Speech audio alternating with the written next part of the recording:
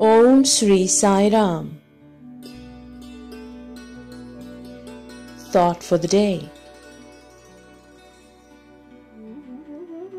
Every aspirant who seeks the divine through the path of devotion should strive to keep away from the turmoil, cruelties, and falsehoods of this world and practice truth, righteousness, love, and peace.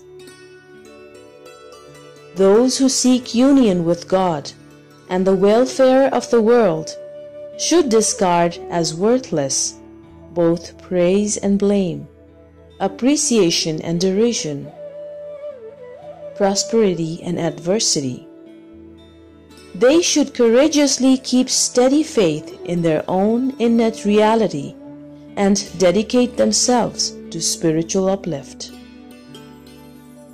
No one, including a Mahapurush, can ever escape criticism and blame. But such people do not bend, but hold on to truth. Those who indulge in criticism or blame later wade through unbearable trouble and then realize the real nature of great ones and start to praise them.